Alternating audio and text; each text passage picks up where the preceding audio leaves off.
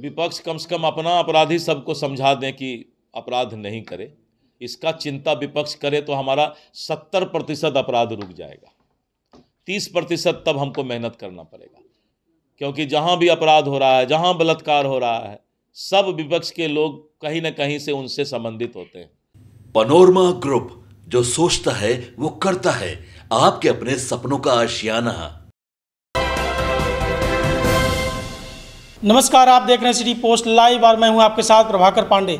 आपको बता दें कि भारतीय जनता पार्टी के नेता को सिटी चौक पर पटना सिटी में हत्या कर दी गई है। इसको लेकर पत्रकारों ने मंगल पांडे से जब सवाल किया कि क्या पुलिस प्रशासन इस मामले में फेलियर है, उन्होंने कहा कि मुझे सुबह ही पता चला कि मेरे ही कार्यकर्ता की हत्या हो गई है और ये चैन स्नेचर का काम है, जो भी अपराधी हैं, उसको बख्शा नहीं जाएगा।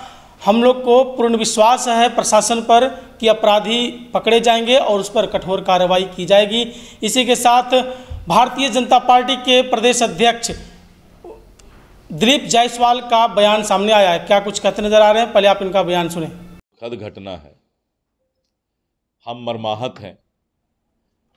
एसएसपी से बात हुई है पुलिस के, वरीय पुलिस अधीक्षक से। एक अपराधी चिन्हित हो गया है। अपराधी पकड़ा जाएगा। सरकार की सोच है कि अपराध नहीं हो और अगर कोई अपराध की घटना घटती है तो अपराधी को सजा मिले। ये सरकार का स्पष्ट सोच है। विपक्ष सवाल उठा रहा है सर कि लगा अपराधी बाहर घूम रहे हैं सरकार कुछ कर नहीं रही। विपक्ष कम से कम अपना अपराधी सबको समझा दें कि अपराध नहीं करे। इसका चिंता विपक्ष करे तो हमारा सत्तर प्रतिशत अपराध रुक जाएगा। तीस प्रतिशत तब हमको मेहनत करना पड़ेगा। क्योंकि जहाँ भी अपराध हो रहा है जहाँ बलात्कार हो रहा है सब विपक्ष के लोग कहीं ना कहीं से उनसे संबंधित होते हैं। तो उतना वो मदद कर दें कि अपने अपराधी को कम से कम थोड़ा सा आ, आ, ये समझाने का प्रयास करें।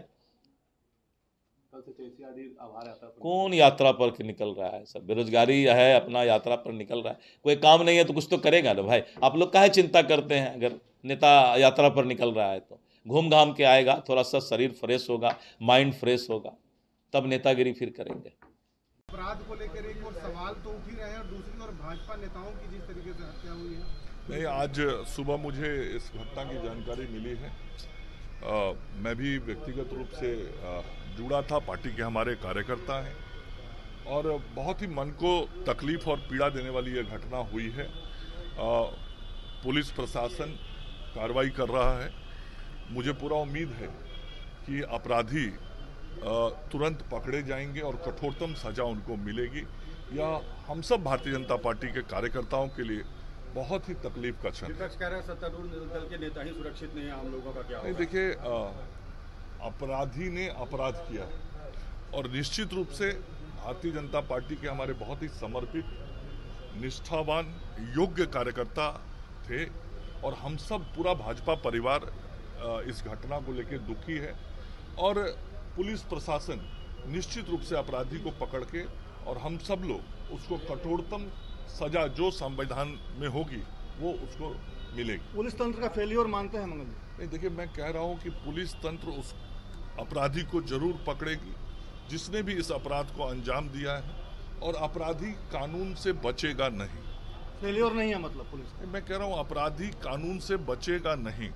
भारतीय जनता पार्टी के प्रदेश अध्यक्ष दिलीप जायसवाल ने कहा कि जो भी अपराधी अपराध कर रहे हैं, वो इस सरकार में पकड़े भी जा रहे हैं। अपराध तो होता ही है, लेकिन अपराधी पकड़े जा रहे हैं, सवाल इस पर है। यदि नहीं पकड़े जाते, तब कोई विपक्ष सवाल उठाता। और मैं विपक्ष को ये कहना चाहता हूँ कि यदि अपने ही अपराधियों को अपने ही पर अपराधियों को समझा दिया जाए तो 70 प्रतिशत अपराध कम कम हो जाएँगे और मुझे मात्र 30 प्रतिशत अपराधियों पर सिर्फ़ काम करना पड़ेगा। मेरा आस, काम आसान भी हो जाएगा। तो मैं यही कहना चाह रहा हूँ विपक्ष के लोगों से कि अपने अपराधियों को समझा लें। 70 प्रतिशत अपराध कम हो जाएगा। इस तरह का बयान देते नज़र आ रहे हैं दिलीप जायसवाल। तो वहीं सारे मामले को लेकर जो 10 सितंबर से राजद के कार्यकर्ता पूरे बिहार में भ्रमण करने वाले हैं, यात्रा पर निकलने वाले हैं, इसको लेकर उन्होंने कहा कि कैसी यात्रा? ये यात्रा निकालने दीजिए, नेता का काम है, और ये यात्रा निकाल के वो अपना मूड फ्रेश कर लेंगे। बाकी जनता सारे बात जो है बिहार का, जो उनके कार्यकाल था, जानती है। इसलिए कोई दिक्कत नहीं, निकलने दीजिए। उनके पास बेरोजगारी है, बेरोजगारी में कोई काम तो मिलना चाहिए। तो यात्रा पर निकलेंगे, उनका काम ही है या, नेताओं का यात्रा पर निकलना, बैठ के करना। तो इस तरह का बयान देते नज़र आ रहे हैं भारतीय जनता पार्टी के प्रदेश अध्यक्ष दिलीप जायसवाल। तो क्या कुछ कहते नज़र आ रहे हैं? मैंने आपको सुनाया, फ़िलहाल इस खबरों में बस इतना ही। आगे के तमाम खबरों के लिए बने रहे मेरे साथ। वीडियो को लाइक करें, शेयर करें, चैनल को सब्सक्राइब करना ना भूलें। धन्यवाद।